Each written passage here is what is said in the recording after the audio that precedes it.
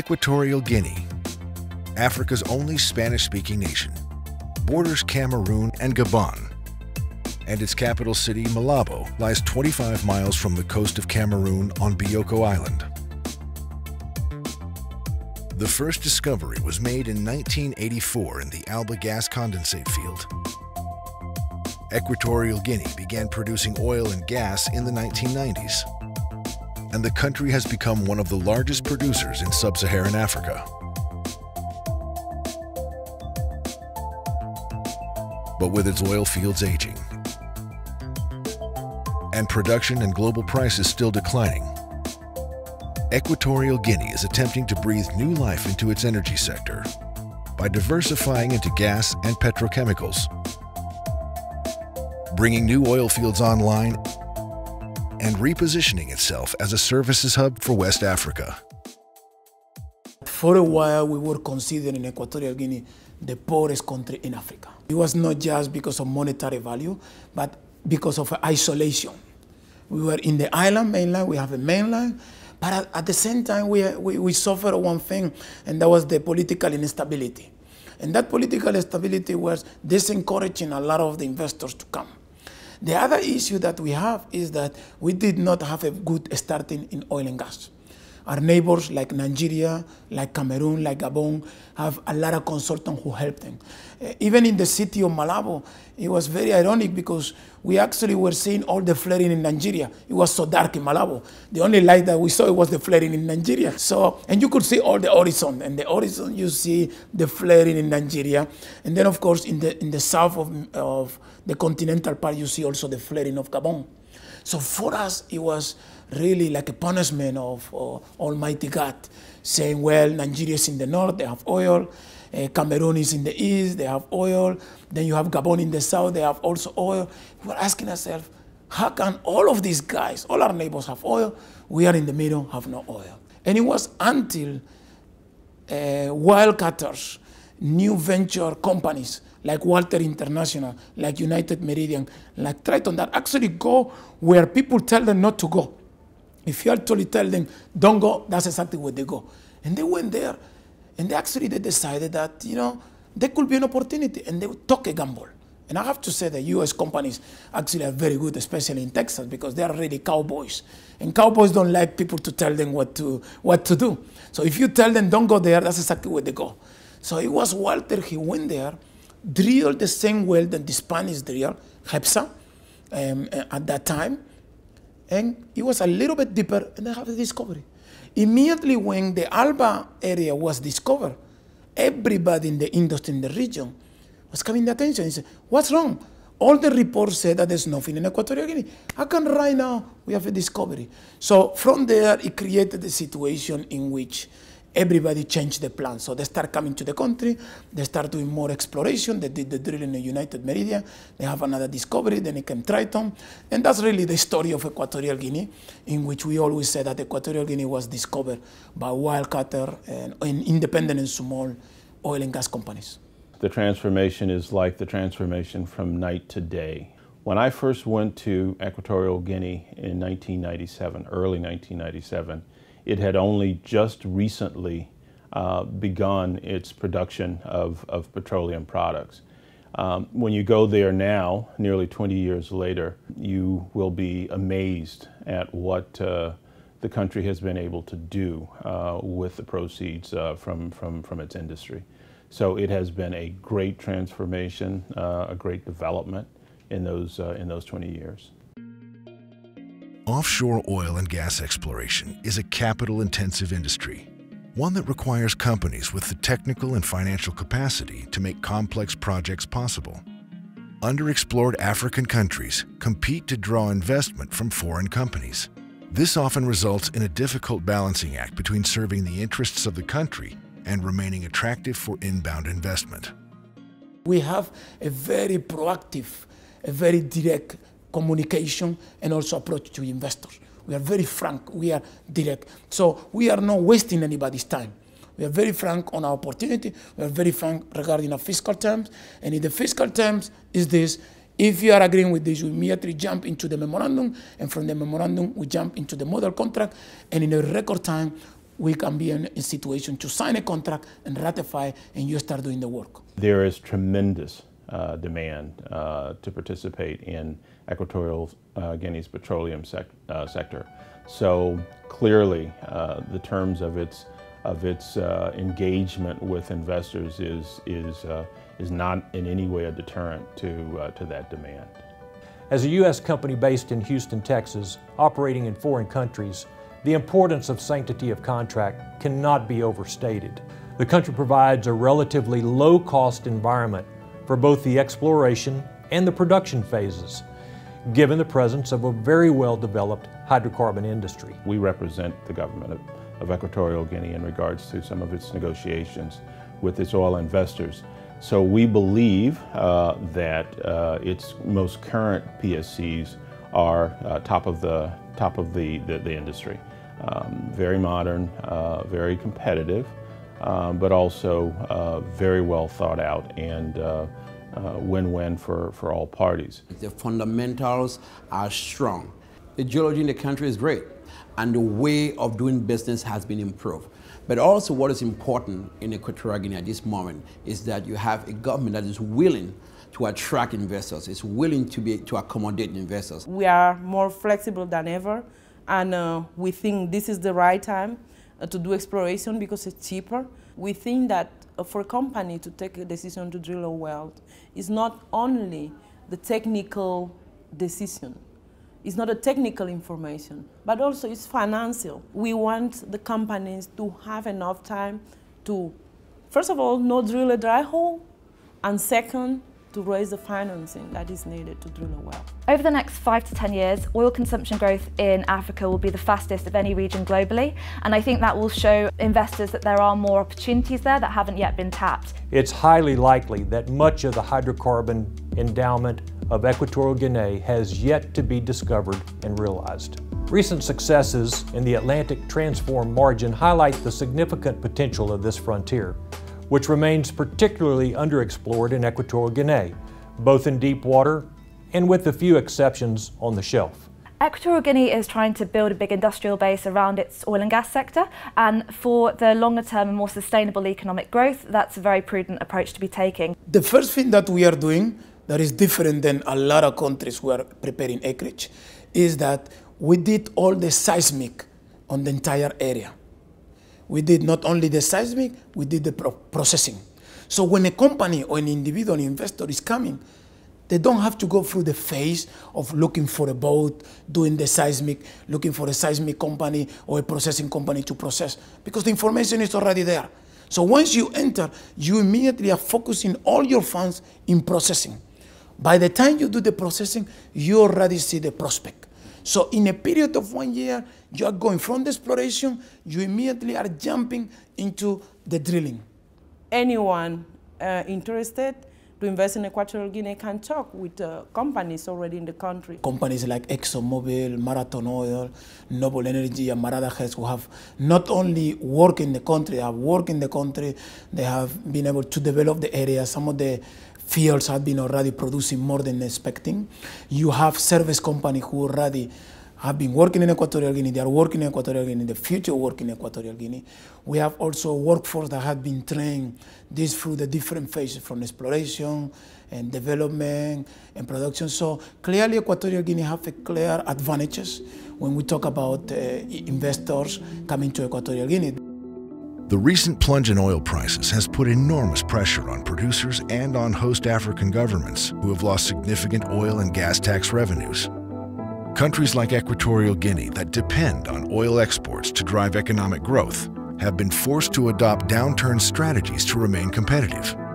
These adjustments can be difficult, but countries with established industries are adept at surviving these market changes. In a climate like this, you can't fold your hands and not invest. You just have to identify the right types of opportunities that will have broader economic impact.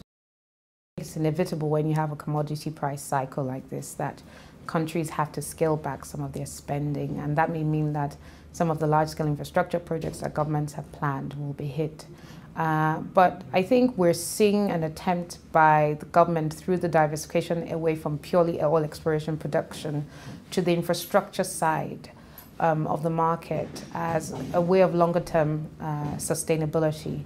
And especially the fiscal incentives that will be offered to the private sector, uh, whether that's in terms of taxes or tax holidays and other sort of trade incentives, will go a long way in helping to attract FDI in an environment like this. A lower price environment can actually benefit more established producers. Companies in this type of environment tend to target lower risk, lower cost ventures, and Equatorial Guinea has a lot of proven shallow water acreage and a lot of pre-existing infrastructure. It's well positioned along the equatorial transform, and it's got some great blocks in the deep water and the ultra deep water areas. So exploration has been to an extent de-risked, and where a discovery is made, it can be tied back into that infrastructure at a significantly lower cost. One of the countries in the Gulf of Guinea who is going to come out of this crisis stronger is Equatorial Guinea. When the oil price uh, started having the downturn, the end of 2014, it took us only one month to readjust our budget. We immediately saw that this was a serious crisis.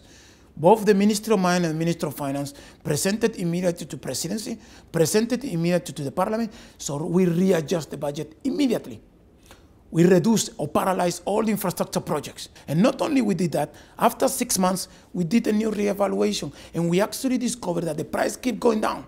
So we needed to do another adjustment. So rather than going, maintain the budget, ask for debt, immediately just alleviating the short term this problem, we said no.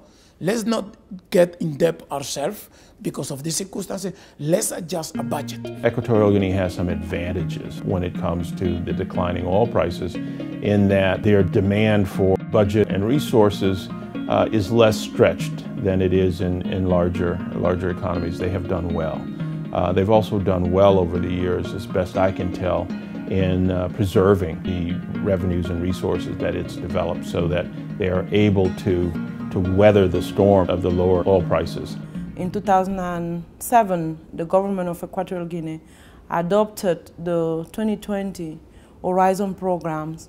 One of the mandates of that program is uh, the construction of the main infrastructures that uh, will help the Republic of Equatorial Guinea to be uh, at some point developed. And uh, by the time the price of oil started falling down, most of these very big infrastructure such as uh, airports, ports, roads were already, if not concluded, at a very advanced stage. Once considered a byproduct of the oil production process, natural gas is an important and strategic resource for exports, petrochemicals, and for generating electricity. Countries with large gas reserves must decide how to best monetize their resources, and seizing opportunities requires strong public-private partnerships that make world-class mega projects possible. The opportunity for gas diversification in Equatorial Guinea is a tremendous opportunity. Uh, gas has several uses, obviously, and one of the most uh, uh, prominent structures for Equatorial Guinea to adopt in terms of monetizing its gas resources is LNG, liquefied natural gas, um, for which there are several ongoing projects in the country right now. And of course, that is going to lead to uh, a huge amount of export revenues for the country, uh, particularly with projects like the Fortuna LNG coming on stream.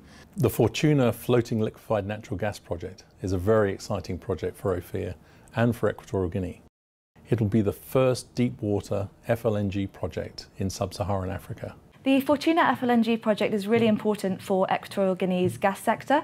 Um, it's a very attractive project. Um, it's got very low cost structures and it will allow for a doubling of both production and exports from 2019 when it comes online. Whilst you have a large scale project like Fortuna, you also want to make sure that were there to be a fundamental shift in commodity prices in the markets that Equatorial Guinea still has a, a, gas revenue base, gas utilization revenue base that allows it to balance the potential risk from global markets with supplying to what could potentially be a fairly stable domestic regulatory environment for its gas.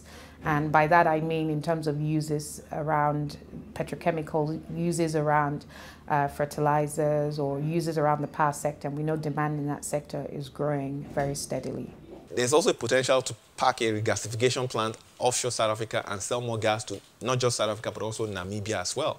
Namibia has a huge gas uh, to power plant in Kudu, which they've been trying to get up for years, but they've not been able to get gas to. And then, I mean, specifically in West Africa, you have Ghana, you have Cote d'Ivoire. If you look at neighboring Gabon as well, too, neighboring Gabon is trying to get more gas to build power plants at the same time, and they will need to get gas, which they don't really have so much. Um, so Equatorial Guinea could position to develop a pipeline to sell into that as well. Building an oil and gas industry from nothing takes decades. In addition to attracting investment and technical know-how, host governments need foreign companies to help them develop their national workforce so that they can one day take over and run the industry on their own. This requires governments to create policies that promote the development of local know-how, but without deterring investors with excessive red tape. Equatorial Guinea is pushing a lot of local content at the moment, trying to get more uh, oil companies to involve locals in their, um, in their production, in their facilities and all that. But you need to balance incentives to ensure that you're not just pushing local content without the right support structure behind it. For instance, in terms of education, you target specific segments, you develop the content locally in the universities, you train, and if you need to send them abroad to learn and come back and teach them, you also need to adopt that kind of strategy. Equatorial Guinea has been uh, the, the, in the oil and gas industry for more than 20 years now. And uh, there is a lot of uh, EG nationals that has been very well trained. They are very well prepared. You have skills set in the country already. With Equatorial Guineans having experience from working with service companies like Baker Hughes, Schlumberger, Oceaneering, and some of the big US oil service companies, but also you are going to find a lot of young people, for example, coming out of Technology Institute that have been trained. So investing there right now, that issue of human capital, which was a problem 20 years ago, doesn't really exist. We have a lot of uh, local companies that has really uh, become stronger during this situation. It could be because of the training or the alliances that they have signed with uh, foreign international companies. And of course, it's much cheaper uh, to acquire services from companies that are already uh, in the country. African governments really need to understand uh, what they hope to achieve by local content legislation. And for every country will be different. If you're a new hydrocarbons producer, the evolution of your local content policy probably has to be a lot more considered. Uh, because on the one hand, you want to attract huge sums of capital. On the other hand, you also want to build your local capacity, both in terms of technology and skills. Um, so if you take a country like Equatorial Guinea, you know, it has a smaller workforce uh, in terms of actual um, absolute numbers. But one of the benefits of having some of these large-scale projects that we will start to see uh, quite a lot of skills and technology transfer as part of the process. So beyond having just foreign engineers or engineers who come from overseas or as contractors, you also have a steady stream. It's a small stream, but you gradually have a steady stream of engineers who themselves are Equatorial Guinean, who are from the region, and who can hopefully contribute to the longer term development of this type of infrastructure. Let's not compare ourselves with our neighbors. We are not competing with Cameroon. We are not competing with Nigeria. We are not competing neither with Ghana, with the rest, because they are countries are very different than us. What we decided, we chose a model. It was Trinidad and Tobago and Singapore. The first phase of development has been done. And that's the phase of infrastructure. Now, what we are doing now is we will be managing to move the administrative capital from Malabo all the way to the mainland. So the city of Malabo will remain as a tourist and service city. The city of Bata will be as an industrial and heavy work city. And then the city of Djibloho, that's in Oyala, it will be the administrative city with the parliament, with the senate, and the presidency. So clearly we can say that we have achieved the Singapore model. We are not Singapore. Singapore is a completely different level, but Singapore started like us. And we have been thinking and looking how they started, and we will continue and I'll keep pressing all the time to express to everybody that the model that we should use is the Singapore model. And I think everybody is aligning this and, and, and, is being, and we have been very successful making sure that people always see this as a model. That's why I say that we are not yet there, but we should keep thinking and using that as a model.